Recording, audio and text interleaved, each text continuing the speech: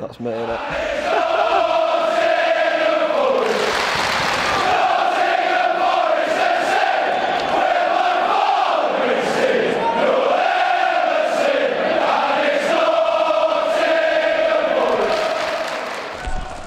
Um, I know how much you live and die for Forest, and obviously captain of the club. So you must be about 40 on that. uh, But fair play, mate. Consistency levels, senior leadership. Also, lifting the trophy at Wembley. Many a Forest player would have dreamed to do that. I can assure you we're all very, very proud of you within the academy. Well done. Let's push for the next 200. Oh, it was lovely. Thank you very much for that. Joe, some special messages there. How did that make you feel?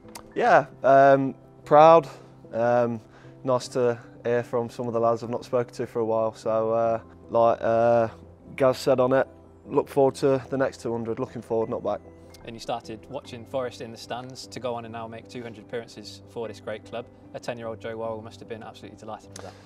Yeah, you know what? I, when I was younger, the majority of my Forest games were um, listen, listening to them on the radio on the back on the way back from from my games. I played Saturdays and Sundays for Hucknall Sports and Hucknall Harriers, and listening to Chippers and Colin Fray on, on the radio was was the highlight of of my weekend really. Brian Laws, Hodgie, uh, Suts on. Um, BBC Radio Nottingham. So that was that was my Forest when I was a kid because because I played at the weekend. So to actually be involved with the club, to train as a 13, 14 year old and come all the way up to eventually captain them in the Premier League is is amazing and something that I definitely don't take for granted and um, hopefully it can last a, a few more years. And you joined the academy back in 2011. What were those early days like? What can you remember?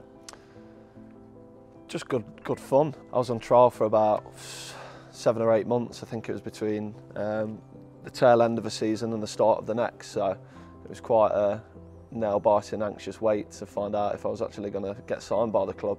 And then, yeah, fighting for a scholarship, like Gaz said on the video, was it was painful and hard, and you start doubting yourself. And all I ever wanted to do was was play professional football.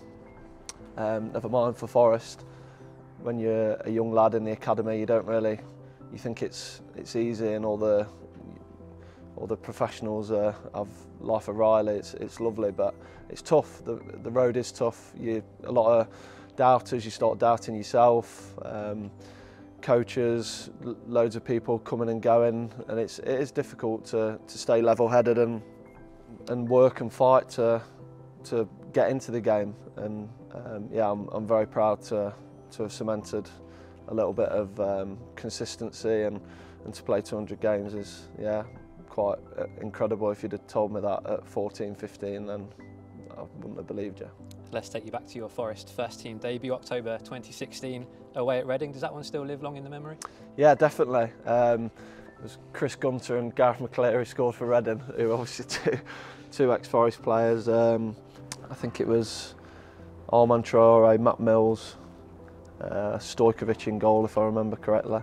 So yeah, it was uh, a very proud day. Probably that still one of my my favourite memories. Um, just to say I'd played for Forest, especially at the age of 19.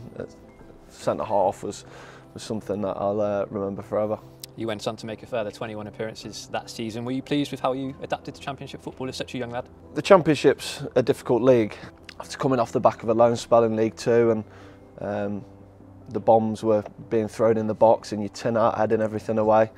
The championship's not too dissimilar really, um, and to do that at, at 19 at, at centre half, it's different. I think when you're a young winger, for example, you can kind of like hide in the game or or not get involved. Um, you get the last five minutes of your debut, but to start on my first appearance and and play. Um, in defence, it, it's it's it's difficult, and especially at 19, I was obviously very very nervous, and um, obviously you get the butterflies before every game, but especially at, at that age playing Championship football. But no, it was something that I think I was ready for, and like you say, to make what 21 appearances that season is is incredible, really, and something that set me in in good stead for the seasons to follow. Looking back at last season, in particular, to have made 46 appearances across all competitions, that showed how magical it is at, at times last season to play for this football club and, and how the city can really get behind the team. Yeah, the following that Forest have are incredible. You only have to listen to stadiums that are half full on away days, and our Forest Forest fans are, are superb. I just want to thank every single one of them. They've, they've been excellent. Never fail to to sing, to chant, to support the whole team. The messages on social media, just everything. They don't realise how important they are to to us achieving um, things on the pitch. So I just want to th say thank you to all, all the fans. Just take us back to the morning of the playoff final. You knew you were starting. You knew you were going to lead the Reds out at Wembley. Just take us back to your thoughts at that time. It's something that you've worked your whole life for, but at the same time you don't want to overthink it. You just crack on. You're in the zone.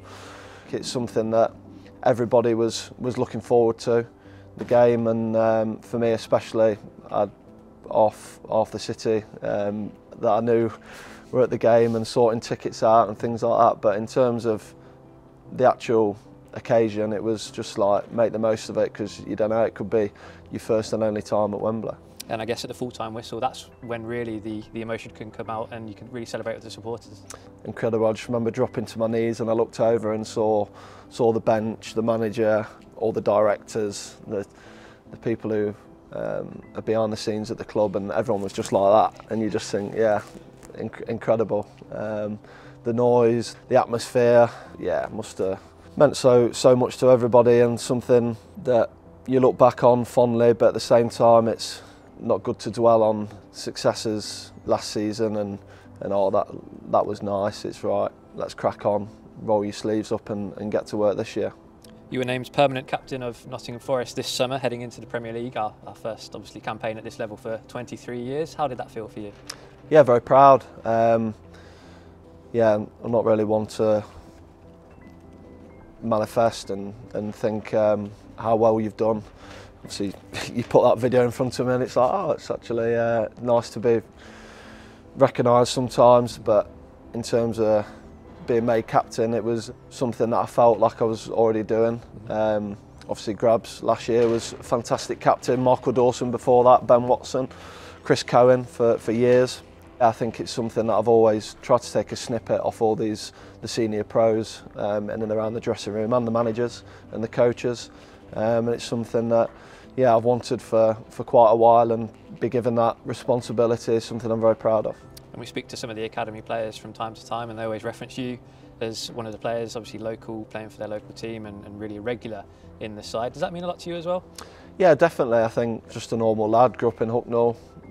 All I wanted to do was, was play professional football, spent many hours kicking the ball against the wall at home and to be able to be given the opportunity to come and train uh, a class setup that Forest is. I just encourage all the, all the kids to um, enjoy it because it's kids get so much pressure from their parents as well, never mind themselves, to um, be professional footballers, to eat right, sleep right, um, do everything correct. But it's kind of like forgotten about that you should actually enjoy it and have fun, don't take it too seriously. And that's something that um, I just try to do as a kid and is my biggest advice to, to any young lads out there or girls if you wanted to get into professional football or sport at Forest it's the main thing is to, to enjoy it and um, soak up everything like a sponge all the coaching staff and and your peers just uh, do it with a smile on your face. The bit about Joe is, and it's really interesting, when Joe plays, and I noticed this very young in his career, and we've discussed this. Quite often the team did really well, although Joe didn't really show up enormously. But a number of people would challenge how Joe was progressing, and I would say to them, just check the results when Joe plays. And he does the unfashionable football things, the unfashionable academy things as a defender. So everybody looks for the person that's playing really nicely out the back, who distributes the ball really well. Joe could head the ball, Joe could tackle, Joe could intercept, Joe could block, Joe would get the first contact in the box. And as his career has gone on, with some really good people he's worked around, he's improved technically considerably, but those things that he already had have come to the fore more and people are recognising them more. And he's now proved himself to be a very, very competent defender at, Pro, at Premier League level. Joe's another player that would have worked very hard to to rack up the amount of appearances you know, at a fairly young young age. Um, obviously, they're in that middle stage where they they're not um, not quite young players, but they're not really experienced players yet. So um, to become that, you need to play games, and for Joe to get to 200 as a as a centre back as well, you know, it's it's hard sometimes to to rack up appearances when you're a centre back, particularly you know when he was breaking through in the in the championship. Is a, is a great achievement um, for him, and he, you know he deserves a lot of respect and, and credit for for that. But um, time to work even harder now. Joe's a, a very big personality in the dressing room, um, a really positive influence, especially on the younger players, and someone I think that the academy looks up to. Um, and a lot of lads want to emulate obviously what he's done and what he's going to continue to do for the football club.